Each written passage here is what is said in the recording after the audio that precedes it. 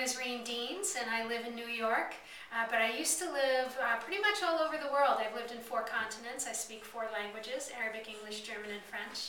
Um, I'm a mom. I have two boys. Um, and um, outside of my boys, one of the things I love most is Australia. Since I was about four years old, I wanted to go and hold a koala bear, and there's only one place you can do that on the planet, and that's in Queensland. Um, so we were lucky enough to go to Queensland as a family, and one of the things that I loved so much about it was how family friendly it was. Um, we all had the best two weeks of our lives there. And um, this is my son Ryan. He's also koala obsessed.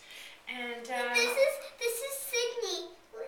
He he he's the one of our only koala toys that we can actually pretend to hold. And the, this is as close as you can get to holding a koala here in New